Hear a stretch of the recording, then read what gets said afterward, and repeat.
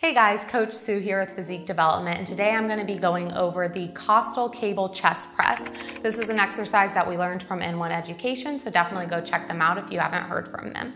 When we're talking about the costal chest, you might have not heard that term before, and that's going to be that lower pec region. So we also have our clavicular fibers and our sternal fibers, and then we have that costal chest, and that's going to be that lower pec that we're working. So we do want to work from high to low for that lower pec as we go through it. So to set this movement up, you wanna ensure that your cables are set up so that they are in line with those costal fibers. So learning about what direction those go is gonna be very, very helpful for you. It's also something where you're going to want to drive your upper arm down and have your forearm stay in line with the cables as you're going through the movement. Another thing to keep in mind is we're not trying to press everything forward as we go through this. I know a lot of you would like to see me do that, but that is not the intent of this exercise.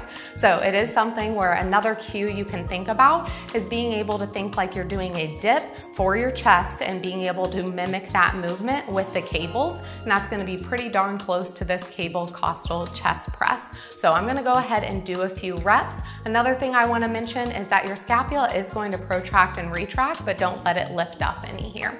So I'm gonna grab these cables, which again are in line. Your hands are gonna be neutral, so they're facing one another. And I'm gonna go through a few reps here.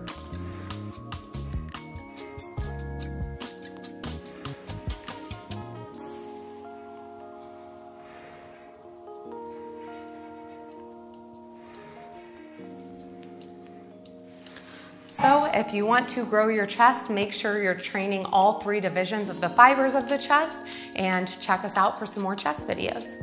Thank you guys so much for watching. If you enjoyed this, definitely give it a thumbs up. But if you wanna get some more information, check us out on YouTube, Instagram, TikTok, and we also have our website, physiquedevelopment.com.